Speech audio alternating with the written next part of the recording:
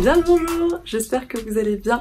Je vous retrouve enfin pour la vidéo pile à lire du Pumpkin Autumn Challenge session 2022. Alors un petit peu de contexte avant de commencer cette vidéo. Quand je la filme, on est le dimanche 4 septembre, donc Gimose a publié sa vidéo ce matin. À 9h, vous imaginez bien que j'étais dans les starting blocks, ça fait 12 vidéos que je vous rabâche le Pumpkin Autumn Challenge, donc j'étais là. J'ai préparé ma pile à lire, tout ça dans la matinée, mais la journée était euh, un petit peu intense euh, pour moi, j'avais pas mal de, de, trucs prévus. Donc là, au moment où je vous filme cette vidéo, on est le soir, un peu plus tard, il est 19h, 19h30. Donc d'une part, la luminosité va probablement pas être incroyable et peut-être baisser au cours de la vidéo ou changer si j'allume des lumières ou des choses comme ça. Donc désolé pour ça. D'autre part, je vous parlais de sociabilisation, je sors d'une session de jeu de rôle qui a été un petit peu folklorique. Globalement, on a tous failli mourir donc il se pourrait que je sois encore un petit peu euh, en adrénaline et potentiellement un petit peu up. Donc j'ai attendu euh, ce challenge toute l'année. Donc ma pile à lire est bien évidemment gargantuesque. Je vous ai même pas fait de miniature avec les livres parce que ça ne sert à rien. Euh, il y en aurait trop, on verrait plus ma tête. Donc je vous montre ma bibliothèque parce que littéralement, alors ça c'est pas ma pile à lire, mais c'est tout comme, c'est je pense que j'ai mis à peu près 75% de ma pile à lire dans ce challenge. Donc écoutez, je vais vous présenter tout ça. Euh, ça va être une vidéo assez longue je pense. Je pensais vous faire mes recommandations livresques avec euh, cette vidéo, mais là clairement, euh, sauf si vous voulez une vidéo de deux heures, j'aurai pas le temps. après, je pourrais pas vous la filmer très très vite. Donc dites-moi si jamais ça vous intéresse d'avoir une vidéo recommandation pour le Pumpkin Mountain Challenge mi-septembre. Je pense que je pourrais pas faire mieux. Sinon, peut-être sur Instagram ou je ne sais pas. Mais euh, en termes de vidéo, ça va être un peu compliqué plus tôt. Mais si ça vous intéresse que je vous la fasse mi-septembre, c'est tout à fait possible, je pense. Ceci étant dit, euh, je vous propose qu'on commence. Je me suis euh, parée de mes plus belles couleurs witchy pour l'occasion. je suis extrêmement impatiente de présenter cette pile à lire. Je vous remercie comme d'habitude d'être de plus en plus nombreux et de vos réactions et, vos commentaires, ça me fait toujours extrêmement plaisir. Et c'est parti pour le premier menu. Alors pour commencer rapidement, le Pumpkin Mountain Challenge, c'est un challenge littéraire qui existe depuis un certain nombre d'années maintenant, qui a été repris depuis quelques années par euh, Guimose de la chaîne du Terrier de Guimose, qui le fait euh, chaque année extrêmement bien, toujours avec euh, des thèmes extrêmement innovants, je trouve, pour les challenges, avec beaucoup d'inventivité dans les catégories, dans les menus, etc., et qui sont toujours extrêmement agréables à réfléchir. Cette année, le grand thème, c'est l'étrange cueillette. Elle a fait tout un visuel autour que je trouve juste magique, qui invite pas mal à la rêverie, à l'automne, à ce côté un peu cocooning mais en même temps un peu étrange, un petit peu mystérieux, etc. Donc formidable.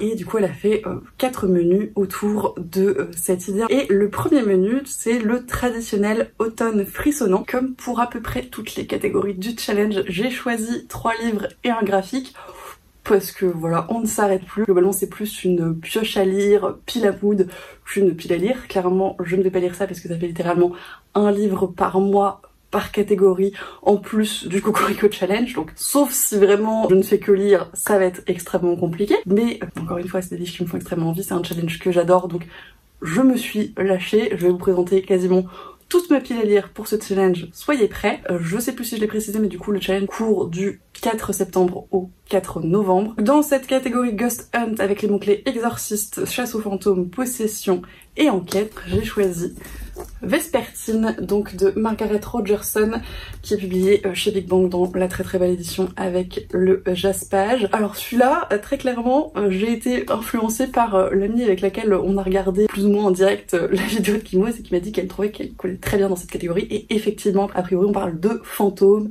et de nonnes. Je ne sais pas, j'ai pas lu le résumé, je veux pas trop en savoir. Cette pile à lire peut être globalement influencée par Margaret Rogerson. J'en ai quelques-uns qui vont popper au travers de euh, ces, menus, donc soyez prêts. Il me fait très envie depuis que je l'ai acheté, j'espère pouvoir le lire pendant ce challenge. Le deuxième livre de euh, cette pile à lire, de ce menu, me fait encore une fois extrêmement envie, mais ça va être le cas de tous les livres de cette vidéo, préparez-vous.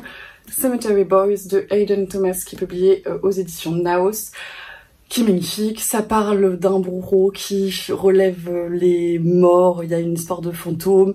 Il y a un petit peu une enquête. Je vous trouvais que ça collait extrêmement bien. Il me fait très envie. C'est très halloweenesque à mon sens, très automnal en tout cas. Encore une fois, il y a plus qu'à. Il me fait envie depuis que je voulais présenter en book haul de toute façon. Donc celui-là, je trouvais qu'il fallait qu'il sorte pour cette saison. Sinon, c'était pas possible. Le troisième roman de cette catégorie est toujours pas des moindres, qui me fait aussi extrêmement envie depuis que je l'ai acheté, qui est une très très belle édition. Une maison d'édition aussi qui se fait sponsoriser une bonne partie de cette pile à lire. J'ai nommé La Talente avec Le Maître des Jeans de Pejali Clark qui est encore une fois dans une très très belle édition. Il y a une histoire d'enquête, globalement euh, c'est ce que j'ai retenu, c'est pour ça que je l'ai mis dedans. Je trouve que ça se marie très très bien aussi euh, à l'automne, au Popping Autumn Challenge, à l'idée que j'en ai. Il y a un côté très mystérieux qui se dégage euh, du résumé que j'ai parcouru un petit peu en diagonale pour pas trop en savoir mais choper des mots-clés au passage.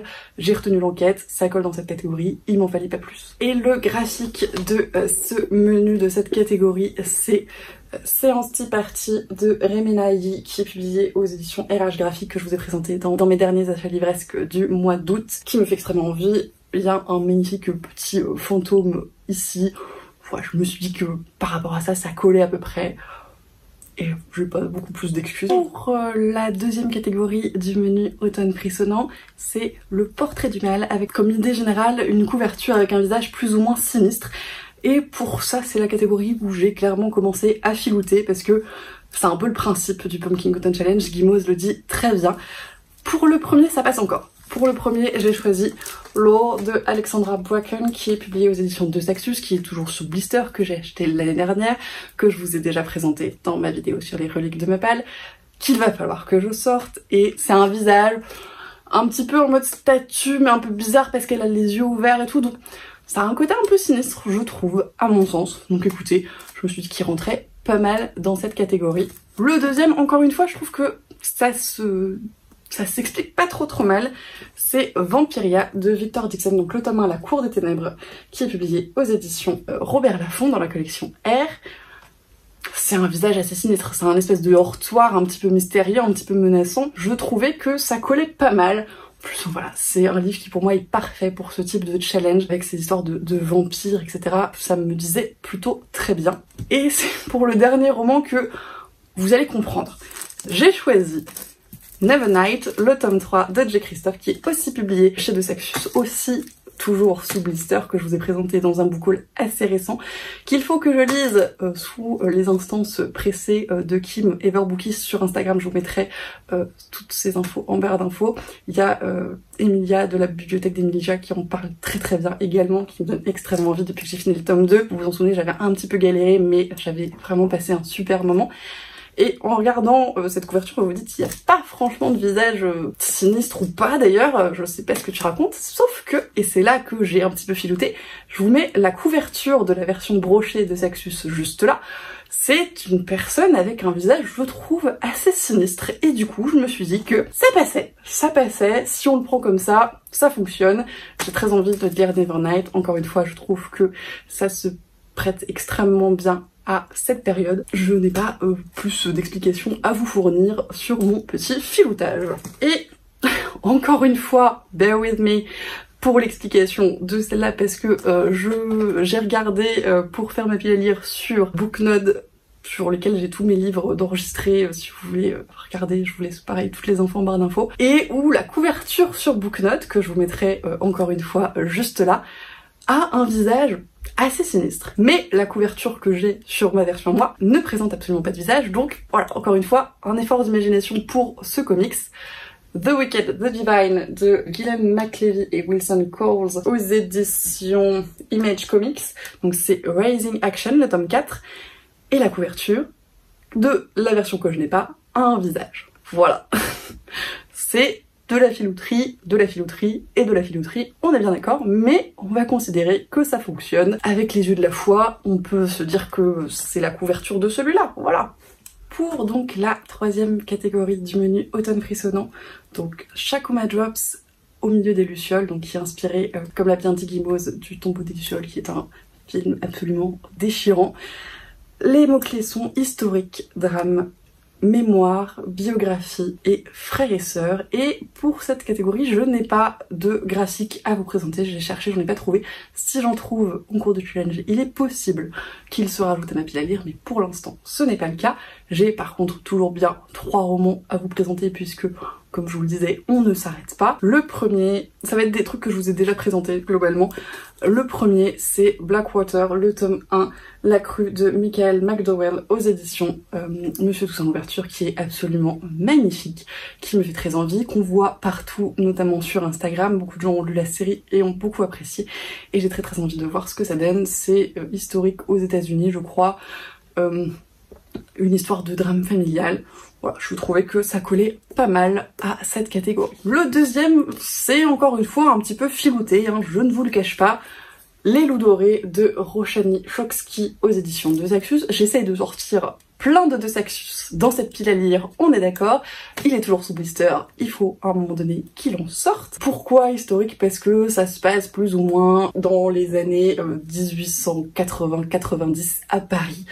C'est une réécriture historique à mon sens, donc on va le caler par là. Voilà, c'est un petit peu tiré par les cheveux, on est d'accord, mais je m'étais dit que ça pouvait se défendre, donc je vous le défends ici. Et le troisième et dernier livre de cette catégorie, c'est encore une fois un peu tiré par les cheveux, mais beaucoup moins que le précédent.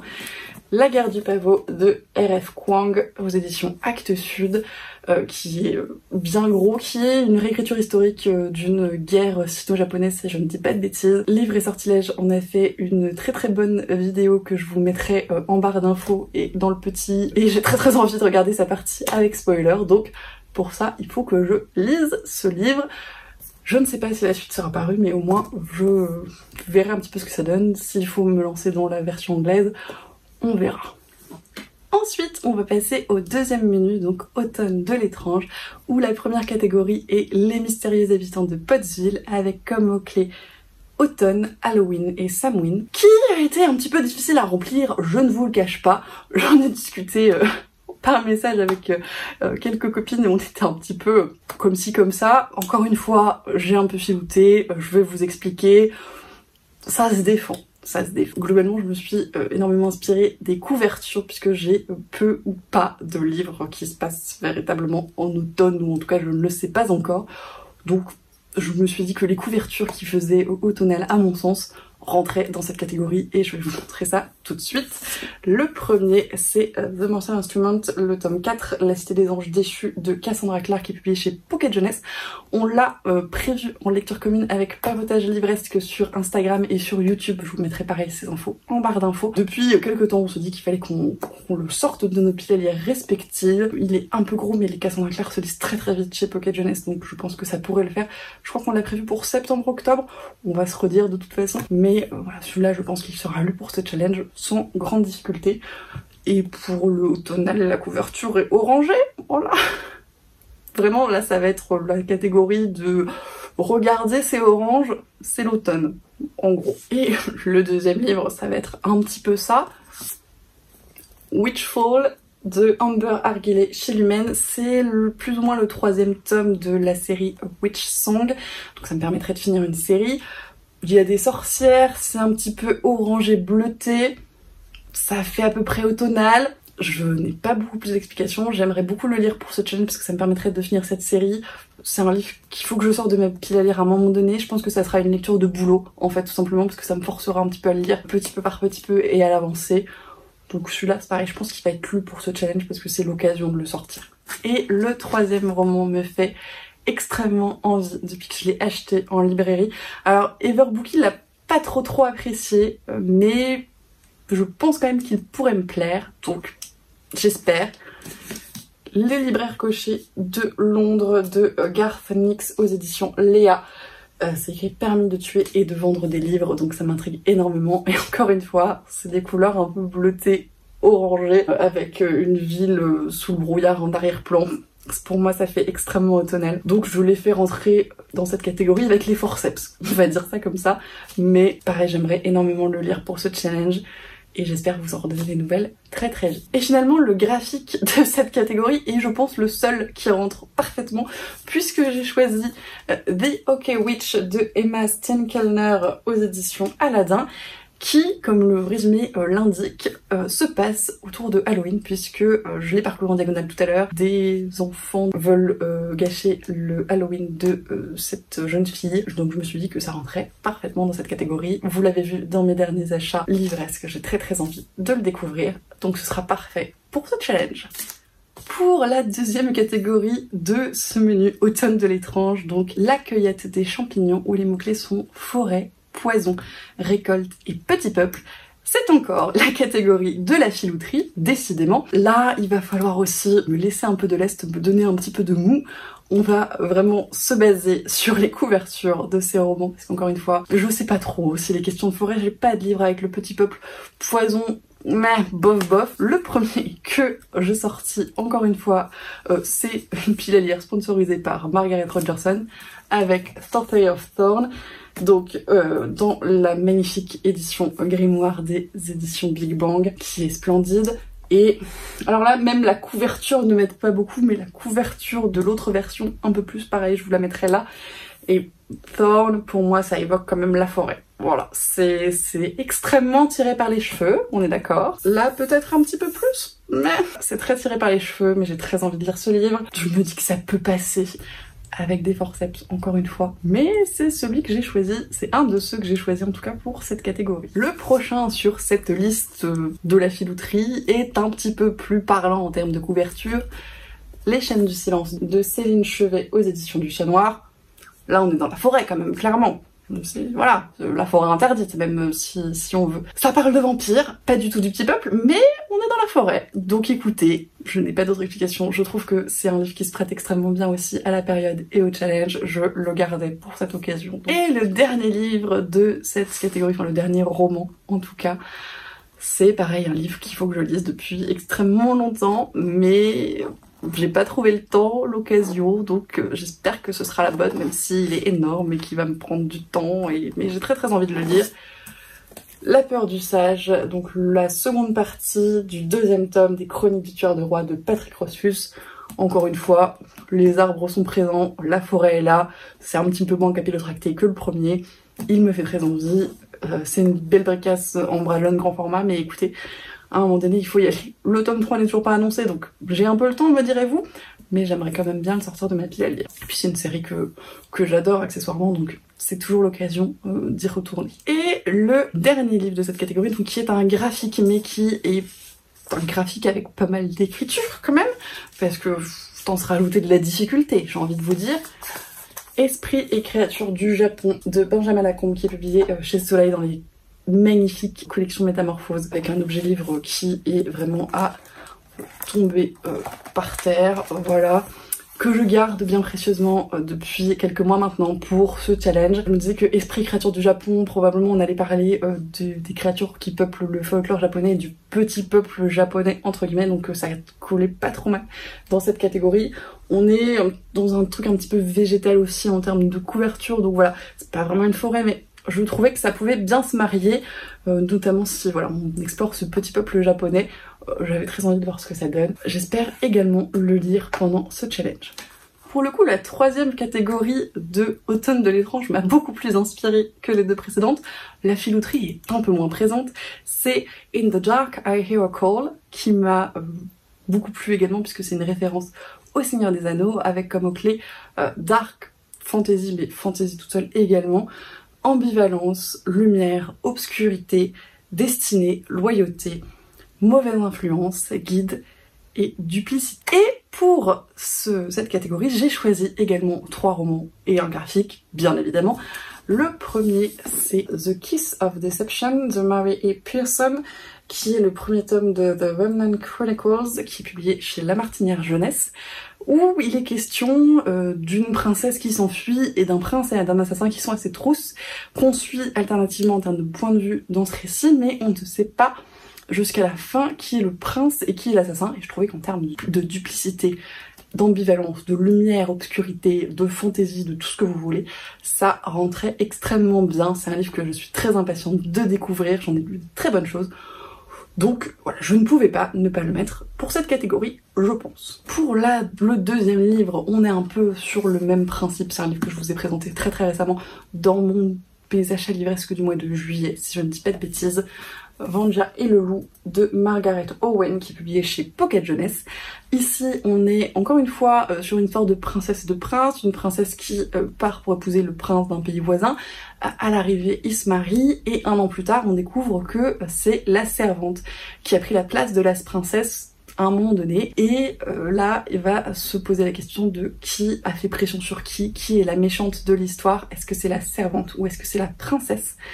Et encore une fois, je trouvais qu'en termes de duplicité, euh, d'ambivalence, ça se posait très bien. Donc, encore une fois, c'est un livre que je suis extrêmement impatiente de lire, c'est de la fantaisie, c'était parfait pour cette catégorie. Le troisième livre est un petit peu plus capillotracté et encore je trouve qu'il colle quand même très très bien. C'est Girl Serpent Torn de Melissa Bachard-Doust qui est publié aux éditions Hugo Stardust et le sous-titre c'est Parfois c'est la princesse le monstre.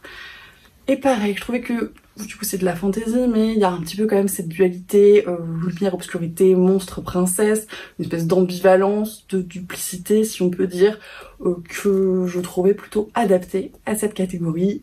J'espère que vous me le concéderez, mais euh, ça marchait plutôt pas trop mal pour moi. Et le comics de cette catégorie est un petit peu filou peut-être, si on veut c'est Stand Still, Stay Silent, le tome 4 de Minaj Sundberg qui est publié chez Achilleos, qui est magnifique. Et pour le coup, c'est pas vraiment de la fantaisie, c'est de la science fantasy fantastique on va dire, mais il y a quand même une notion d'épopée, de, de guide un petit peu, et pour le coup, je trouve une grosse dualité lumière-obscurité avec ces créatures euh, de l'ombre, ces créatures obscures qui sont présentes euh, dans le fond et parfois attaquent. Et euh, dans les dessins, dans les graphismes, en tout cas dans les tomes que j'ai déjà lus, il y avait un gros jeu autour de cette obscurité assez menaçante. Euh, donc je me suis dit que ça pouvait rentrer dans cette catégorie par rapport à ça et c'est un livre qui me fait extrêmement envie.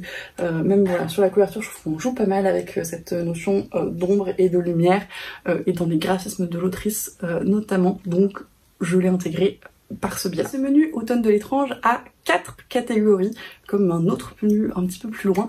Et la quatrième est donc soit vent, rêve, cendre et néant, soit nuit, noir, âme et souhait, qui est a priori tiré euh, du roman de Body Wayne que je n'ai pas encore lu, mais qui me fait très envie. Ce sera probablement pas pour cet automne, mais un autre prochain, je l'espère. Les euh, mots-clés sont conte, gothique, macabre, sauvetage et disparition. C'est une des catégories pour laquelle j'ai le moins de livres à vous présenter. Je viens juste tant rajouter un là en, en cherchant celui que j'avais noté, mais initialement il n'y en avait qu'un roman et un graphique. Je vais vous présenter deux romans avec euh, encore une fois euh, les yeux de la foi, vous allez voir ça va passer tout seul. Le premier que je m'étais noté c'est euh, Cendre de Johanna Marines qui est publié aux éditions Snag. C'est le premier roman de Johanna Marines que je découvrirai. D'une part, il y a Cendre dans le titre et il y a Cendre dans le nom de la catégorie, donc ça marche pas trop mal. D'autre part, il est question d'une disparition dans Londres et d'une enquête autour de cette disparition, donc ça marche pas trop mal par ce biais-là aussi, je trouve. J'ai bien envie de découvrir la plume de l'autrice. Je trouve qu'encore une fois, c'est un livre qui a l'air de bien fonctionner dans l'ambiance un petit peu automnale mystérieuse. Donc écoutez, on va voir ce que ça donne. Le deuxième livre que je viens de rajouter en l'instant euh, sur un éclair de génie finalement, on peut le dire, c'est La ville sans vent de Éléonore de Villepoix qui est publié aux éditions Hachette. Parce qu'encore une fois, il y a vent dans le titre, comme dans le titre de cette catégorie. Voilà. Et puis que la ville sans vent, est-ce que finalement le vent n'est pas disparu et du coup ça tiendrait dans disparition le mot-clé? L'interprétation n'a aucune limite.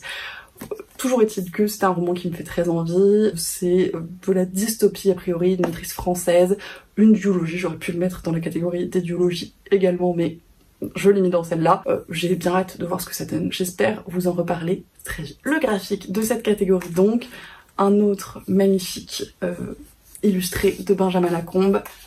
Histoire de fantômes du Japon, donc illustré par Benjamin Lacombe et écrit par Lafcadio Ern, je crois, toujours dans la magnifique collection Métamorphose des Soleil. Toujours un livre absolument magnifique. À tomber par terre, la histoire de fantômes du Japon, je me suis probablement il y aurait des contes un petit peu euh, gothique macabre dans l'histoire, que ça avait l'air de coller pas trop trop mal, donc j'espère ne pas m'être trompée. C'est un livre que, comme je vous le disais pour le précédent, je gardais euh, très précieusement pour ce challenge, donc il fallait qu'il sorte d'une manière ou d'une autre. On va passer à l'avant-dernier menu, donc troisième menu, Automne douceur de vivre, qui est un menu que j'aime particulièrement avec la première catégorie qui est deux citrouilles valent mieux qu'une. Le principe est de lire une biologie début, fin ou totalité. Et pour cette catégorie, j'ai trois romans à vous présenter, mais aucun graphique, puisque j'ai pas trouvé de graphique rentrant dans une biologie. Je pense que c'est assez rare. Alors j'aurais pu euh, caler les Benjamin Lacombe, mais c'est pas vraiment une biologie, c'est une espèce de regroupement, donc mais je trouvais que ça rentrait bof. Après, encore une fois, avec le vieux de la foi, pourquoi pas? Toujours est-il que je n'ai choisi que trois romans pour cette catégorie. Le premier étant Shahara, donc le tome 2, Les voiles d'Azara de Charlotte Bousquet aux éditions Nemos, qui est tombé par terre, que j'ai eu aux, aux Imaginales 2022. Euh, Je vous l'ai déjà présenté, il est dédicacé, il est magnifique. J'ai très hâte de voir ce que donne. Je crois que c'est une biologie, je crois que c'est la fin. Peut-être je dis une grosse bêtise, mais il me semble pas. C'est de la fantaisie orientale, c'est Charlotte Bousquet, c'est formidable. Je ne peux que vous recommander euh, ce qu'elle a écrit d'autres. Euh, mais voilà, j'ai très très hâte de voir ce que donne celui-là. Encore une fin de duologie, globalement euh, ça ne sera que des tomes 2. Vengeful, qui est le tome 2 de Evil de euh, V. Schwab, qui est publié aux éditions Lumen. Je vous en ai parlé euh, très récemment dans mes achats livresques. Il me fait très très envie, je trouve qu'il colle particulièrement bien en cette saison avec euh, ces euh, anti-héros un petit peu ambivalents. Ça aurait pu être dans une autre catégorie, mais comme c'est une biologie, ça marchait plutôt très bien. Je sais pas si euh, pour l'instant c'est une biologie et ça va changer. Peut-être je vous dis ça, mais après ça n'en sera plus. Toujours est-il que pour l'instant c'est une biologie, ça reste une biologie et ça marche pour cette catégorie. Mais il est possible que si vous regardez cette vidéo dans quelques années, ce ne soit plus le cas. Bref, euh, il me fait très envie, j'ai très très hâte de le lire, j'espère vous en parler très vite, comme tous les livres de cette pile à lire, que je ne vais pas tout lire, on est d'accord.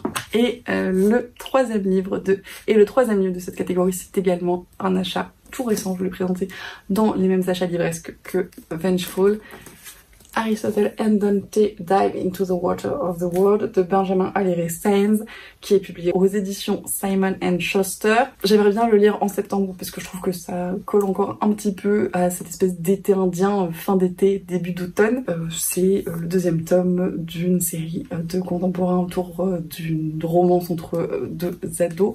Euh, qui voilà, que j'avais beaucoup j'avais beaucoup apprécié le tome 1 quand il était euh, tout seul et maintenant euh, ils sont deux donc c'est une biologie donc on va dire que ça rentre dans cette catégorie.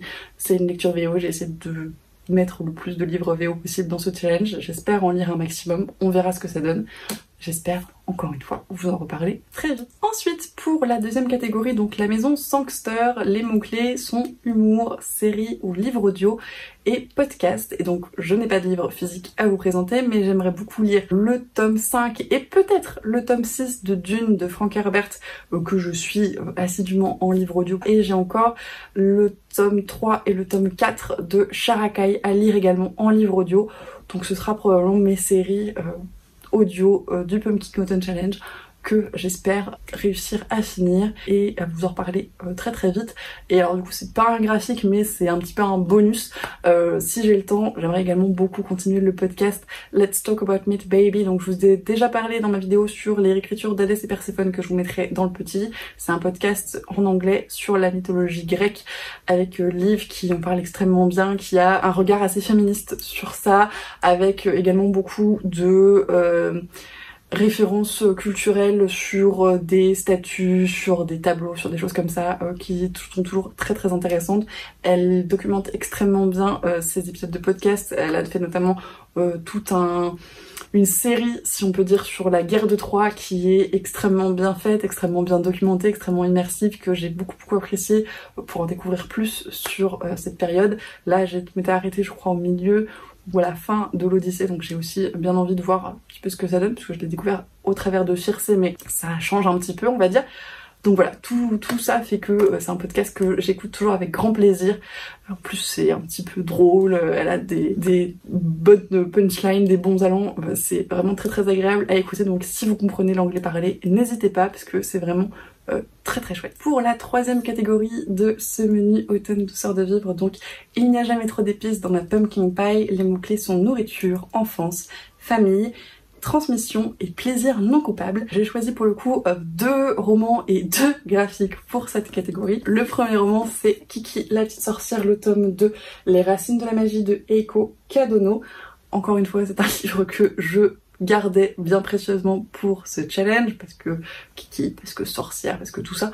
Dans le premier, et puis si vous avez vu euh, le dessin animé, euh, il y a quand même une grosse part de nourriture puisqu'elle habite côté d'une boulangerie. Euh, pour moi, c'est quand même assez lié à l'enfance. Il y a une notion de famille, plus ou moins composée, qui est très très importante. Donc tout ça a fait que je le trouvais plutôt pas mal pour cette catégorie. Encore une fois, j'ai très très envie de le lire. On va voir ce que ça donne. Et pour le deuxième livre, j'ai plutôt joué sur plaisir non coupable, famille un petit peu recomposée si on veut, avec euh, Anyway the Wind Blows, donc qui est le troisième et dernier tome de Simon Snow, la série de Rainbow Rowell, qui est ici publiée aux éditions Wednesday Books, qui est une de mes séries euh, de fantasy un petit peu chouchou, donc c'est tout le plaisir non coupable, c'est vraiment une série que je retrouve toujours avec énormément de plaisir, des personnages auxquels je suis très très attachée, qui forment une espèce de, de famille nucléaire à eux seuls si on veut, que euh, j'apprécie énormément. J'ai pas grand chose à vous dire de plus que voilà, pour moi les écrits de Rainbow Rowell c'est vraiment des plaisirs non coupables par excellence. Et les deux graphiques de cette série vont parler de même, je pense. Le premier étant Mooncakes de Wendy View, Susan Walker et Joanne Gill qui est publié aux éditions Oni Press. On les voit manger, qu'est-ce que vous voulez que je vous dise? Nourriture, plaisir non coupable, ils ont l'air d'en prendre un pas mal a priori, donc ça collait, je trouve, extrêmement bien à cette catégorie. Euh, et le deuxième et dernier comics de cette catégorie, Runaways, toujours de Rainbow Rowell, parce que décidément, c'est mon plaisir non coupable par excellence. Le tome 3, That Was Yesterday, donc Rainbow Rowell et Chris Anka with Matthew Wilson qui est publié aux éditions Marvel. Pour le coup, on joue aussi sur la question de famille puisqu'il forme une espèce de famille nucléaire recomposée, un petit peu bizarre de brick et de broc qui fonctionne et qui est très drôle et qui est très chouette à suivre et que je peux que vous recommander encore une fois si vous lisez l'anglais parce que c'est un comics en anglais mais qui est euh, très très chouette à lire. La quatrième et dernière catégorie de ce menu automne douceur de vivre, le chante-moi une chanson, ça c'est et les mots-clés sont mythes et légendes, voyage dans le temps, magie et dépaysement. Et là, j'ai vraiment complètement axé euh, sur limite, même si il est vrai que si je lis Outlander, euh, 9 tome paru là en deux parties euh, très très récemment, ça rentrerait extrêmement bien dans cette vidéo. Je ne l'ai pas encore en ma possession, mais je vous mets euh, les images juste là. Ça peut très très bien rentrer. Sassenard, voyage dans le temps, on y est parfaitement. Je peux également regarder la série, rattraper un petit peu mon retard, il n'y a pas de souci là-dessus. Mais pour les livres papier que j'ai choisis donc, il y a euh, Piranèse de Susanna Clark qui est magnifique, qui est dans ma file à lire depuis un petit peu trop longtemps maintenant, quelques mois. Je vous l'ai présenté, je crois, en achat livresque au début de ma chaîne, qui est publié aux éditions Robert Laffont. Il y a un côté un peu mythologie sur cette couverture et en même temps cette maison un peu bizarre où on est un petit peu dépaysé, une magie assez présente un voyage dans le temps, on sait pas trop, mais il y a des choses qui, qui, qui sont un petit peu mystérieuses comme ça, et je trouvais qu'il rentrait pas mal dans cette catégorie, même si j'ai un peu de mal à vous expliquer pourquoi. J'avoue, je trouvais encore une fois que c'était un livre parfait pour cette saison, donc écoutez, on va dire que ça fonctionne comme ça. Pour le coup, les autres s'expliquent un petit peu plus facilement. J'ai choisi Mythos de Stephen Fry, qui est publié aux éditions Calman Levy. Je vous l'ai présenté encore une fois dans un des premiers rachats livresques de ma chaîne. C'est des réécritures de mythologie grecque. Voilà, qu'est-ce que vous voulez que je vous dise de plus? Ça rentre parfaitement euh, pour moi dans Mythes et légendes, magie, tout ça, un petit peu de dépaysement si on veut. Ça marche pas mal, je trouve. Et le dernier livre, donc un graphique, vous aurez suivi, c'est encore une fois de la mythologie grecque, donc Apothéosis, qui est le artbook de Nist, qui est donc autour de personnages de la mythologie grecque, qui est magnifique, qui encore une fois je gardais très précieusement pour cette période, pour ce challenge. Depuis sa réception, il me fait extrêmement envie et voilà, il n'y a plus qu'à. Et on est parti pour le quatrième et dernier menu, automne rayonnant, qui m'a beaucoup inspiré également. C'est un petit nouveau, mais euh, j'ai adoré euh, les catégories euh, qu'il proposait. La première étant We All Born Naked and the West is Drag. Les mots-clés sont LGBTQIA+, amour de soi, diversité, inclusivité. Et pour cela, j'ai choisi un livre qui est également dans mes reliques de la palle, la méthode Lighty de Leah Johnson qui est publiée chez The Sexus. C'est une histoire d'amour lesbienne euh, au lycée, je crois, euh, autour du bal de promo. Donc pour moi, ça rentrait très très bien dans cette catégorie. En plus, là, le personnage principal, je crois, est afro-américaine. Donc encore une fois, il y a un petit peu d'inclusivité, tout ça je trouve que ça colle très bien. J'espère avoir le temps de le lire assez rapidement encore une fois, comme pour tous les livres de cette vidéo. Ensuite, un classique du, de la catégorie LGBT pour moi, je le mets dans, je pense, toutes les pales, je trouve que ça colle très très bien, et en même temps, l'inclusivité, tout ça, euh, ça marche avec l'auteur, c'est formidable. Le clan Bennett, le tome 4 ici, donc euh, le chant des Bennett de TJ Clown, qui est publié chez NXM Bookmark. Euh, je vous ai parlé euh, du premier, du deuxième, du troisième tome depuis euh, le début de cette chaîne. c'est une série que j'aime beaucoup, c'est de la petite avec des loups-garous, mais toujours des romances MM, donc de l'inclusivité, de la tolérance, de l'amour de soi, de l'amour des autres.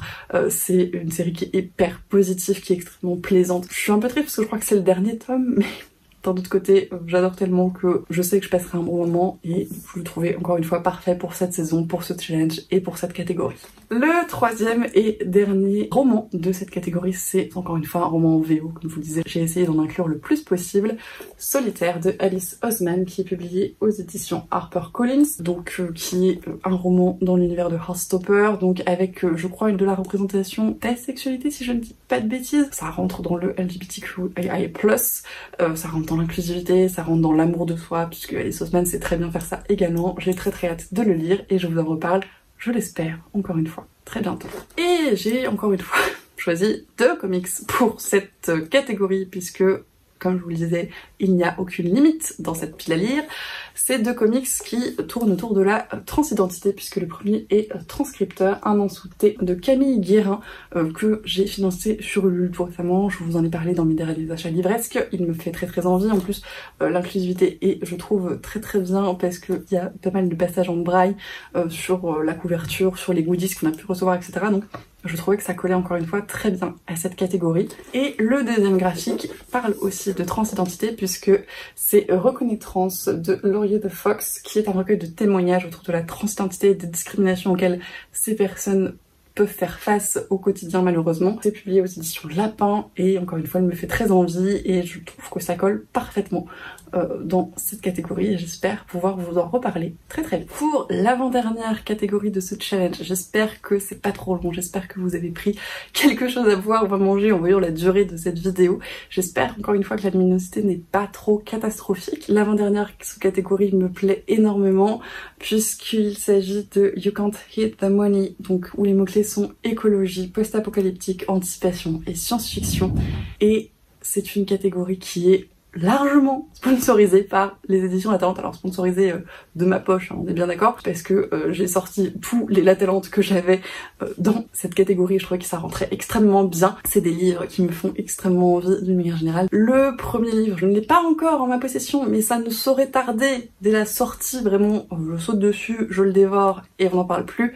C'est un psaume pour les recyclés sauvages de Becky Chambers. Je vous mettrai la photo juste là. Le nouveau Becky Chambers chez La Talente qui me tente de fou depuis que j'ai découvert son existence, littéralement. Je n'ai qu'une hâte, c'est euh, qu'il sorte le 15 septembre. J'espère pouvoir le lire euh, très très vite, pouvoir vous en reparler très très vite. Je suis à peu près convaincue que ce sera aussi bien que tous les autres Becky Chambers que j'ai lus. D'où le deuxième livre, qui est bien évidemment Archives de l'Exode, donc le tome 3 des voyageurs, donc de Becky Chambers toujours. Vous avez vu mes avis sur les deux premiers tomes qui euh, m'ont vraiment énormément plus, c'est des énormes coups de cœur, des énormes coups de cœur pour cette autrice, pour cette série, pour ces personnages, pour cet univers, pour cette écriture, pour absolument tout, pour les sujets qu'elle aborde, pour la façon dont elle les aborde, enfin vraiment c'est un, c'est incroyable. Le tome 4 doit sortir normalement fin d'année si je ne dis pas de bêtises, donc comme ça je serai prête et à attendre euh, le marque-page entre les dents euh, pour la sortie du tome 4. Pareil, ce livre-là euh, sera lu sans trop d'inquiétude assez vite. Le deuxième livre, enfin le troisième livre de de cette catégorie, c'est Journal d'un assassin, le tome 2, schéma artificiel de Martha Wells, toujours chez La Talente. Je ne vous ai même pas encore présenté le tome 1 qui est prévu dans, euh, pas la prochaine, mais euh, encore celle d'après, euh, vidéo dernière lecture. J'ai, spoiler, adoré le premier tome, donc je me suis précipitée sur le tome 2 à mon passage en librairie chez La Talente. Je, je vous en reparle, je pense très très vite, c'est très vite, c'est très court, le tome 1 a été formidable, donc celui-là ne va pas trop tarder, clairement. Et le euh, dernier livre de cette catégorie, j'ai pas de comics non plus. Euh, pour celle-ci, c'est le livre de colis, donc de M. Carré aux éditions La Talente. La luminosité est en train de, fuir. Là, vraiment, euh, on va finir la vidéo dans le noir. Donc le livre de colis où il est question, encore une fois, euh, de science-fiction. Pour le coup, pas mal de post-apo et d'écologie, si je ne dis pas de bêtises. Donc qui marchait très très bien dans cette catégorie, je trouve. Je l'avais acheté aux Utopiales 2021, il doit être dédicacé si je ne dis pas de bêtises, si j'arrive à retrouver la page, voilà. Il est dédicacé, ça va faire un an, donc il serait temps que je le sorte de ma lire celui-là.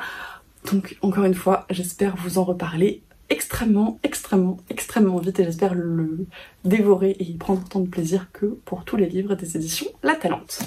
Gros changement de luminosité puisque j'ai allumé la lumière pour finir cette vidéo. Ça peut être intéressant quand vraiment euh, tout fout le camp. L'électricité, c'est pas mal. Dites-moi ce que ça donne en termes de luminosité, si c'est potable ou pas parce qu'à ce moment-là, peut-être que je pourrais filmer des vidéos un peu plus tard le soir, maintenant que les jours raccourcissent dangereusement puisque l'automne arrive, pour notre plus grand plaisir. Pour finir, du coup, cette vidéo avec la dernière catégorie, donc le don de Merrywick, où les mots-clés sont bienveillance, amour, guide, sororité, relation et guérison.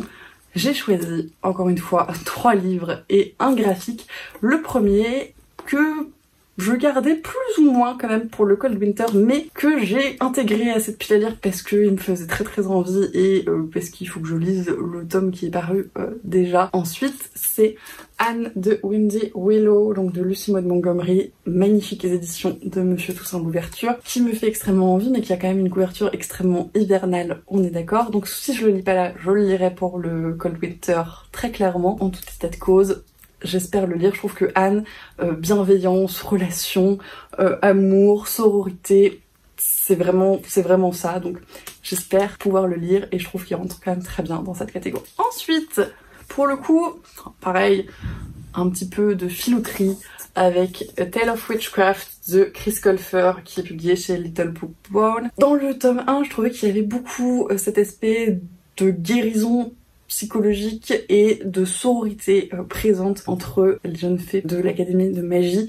Donc euh, je trouvais que ça rentrait pas trop mal dans cette catégorie. Je sais pas du tout ce que ça donne pour ce tome-là, mais on espère que ça fonctionne. En tous les cas, euh, c'est une lecture vidéo que je gardais, enfin que j'ai acheté très très récemment. Je vous en ai parlé il y a pas très longtemps, mais que je voulais lire pour euh, ce challenge. Donc je l'ai mise dans cette catégorie. Je trouve que ça marche pas trop mal. Et pour le dernier livre, on va jouer plutôt sur l'aspect relation, amour, un petit peu romance, si on veut, avec One Last Stop de Casey McKinston aux éditions Lumen, qui est une romance a priori bien entre deux jeunes femmes dans le métro, avec une histoire de boucle temporelle, si je ne dis pas de bêtises. Ça aurait pu rentrer dans d'autres catégories de ce challenge. J'ai choisi de la mettre ici. Je trouvais que sur l'aspect euh, relationnel, on était quand même pas mal. Euh, pareil, j'ai très hâte de le lire. J'espère vous en reparler euh, très très vite. Et le dernier livre de cette catégorie, le dernier livre de cette pile à lire absolument gargantuesque, c'est donc un comics, c'est What We Don't Talk About de Charlotte Kirstensen, qui est publié aux éditions Haverhill Publishing que j'ai mis dans cette catégorie parce qu'il est question de relations amoureuses mm, et euh, de racisme, donc alors pour le coup c'est un petit peu l'inverse de la bienveillance, mais la bienveillance c'est ce qu'on aimerait euh, qu'il se passe dans cette relation et dans cette famille que euh, le personnage principal va rencontrer finalement. Donc encore une fois, un petit peu peut-être en mode de filou, un petit peu capillotracté, je trouvais que ça rentrait dans cette pile à lire et c'était important pour moi de caser euh, ce livre dans cette catégorie, dans ce menu.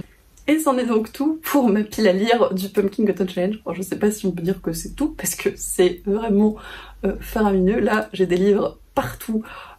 Dans mes bibliothèques dans tous les sens, il va falloir que je range ça de façon à peu près claire pour que je sache ce que j'ai à lire pour ces quelques mois à venir. Je suis extrêmement excitée pour euh, le Pumpkin Autumn Challenge et le Cocorico Challenge. Je vous mets ma pile à lire juste là si vous l'avez pas vu. Globalement, faire ces deux challenges en parallèle avec les pales que j'ai prévues qui sont pas du tout euh, les mêmes avec beaucoup beaucoup de livres à lire, des deux côtés. Je pense que ça va être folklorique, mais j'ai extrêmement hâte. N'hésitez pas à me dire s'il y a des livres que j'ai présentés, que vous avez déjà lus, qui vous font envie. Si vous avez préparé votre pal euh, pour le Pumpkin Autumn Challenge, que vous l'avez fait euh, sur Instagram, en vidéo ou peu importe, n'hésitez pas à venir m'en parler également. C'est euh, des vidéos ou des publications que j'aime toujours énormément regarder. Donc allez-y, je vous en prie, partagez. Je remercie Guimose si elle passe par là pour l'organisation de ce challenge qui chaque année est un plaisir à faire, euh, à suivre, qui fait faire des merveilleuses découvertes dans une ambiance hyper cool. Je suis absolument ravie euh, d'arriver dans cette période euh, de l'année. Je ne peux que vous souhaiter d'excellentes lectures automnales et je vous dis à la prochaine